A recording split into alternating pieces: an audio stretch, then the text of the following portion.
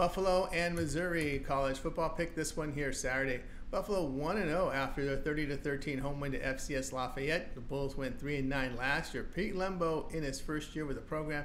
He's going to have just three starters on offense, seven to the defense. They put up 19 points and 315 yards last year. Buffalo rushed for 4.4 yards a carry with inefficient passing game in 2023. On defense, they allowed 26 points and 359 yards a game. The team held opponents 176 passing yards for 6.7 yards per pass attempt. Gone are the starting quarterback with many playmakers. Senior quarterback CJ Ogbonna is a starting quarterback. He was ineffective in limited work last year with the Bulls and in his two years at Southeastern Missouri as well. He did pass for two touchdowns and 195 yards in their uh, win against their FCS opponent. Missouri 1 0 after a 51 0 home win to FCS Murray State. Tigers finished at 11 2 in 2023 for head coach Eli Drinkwitz. Returning our nine starters on offense, five of the defense. They put up 32 points and 432 yards per game last year.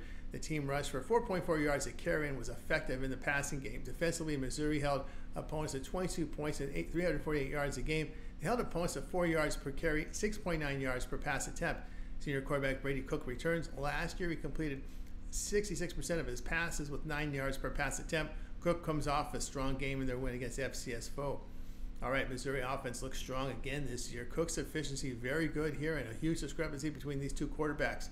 Ogbonna struggled uh, to complete half his passes when he was quarterback at the FCS school when he first came into college football. Player will be Missouri minus 34 and a half.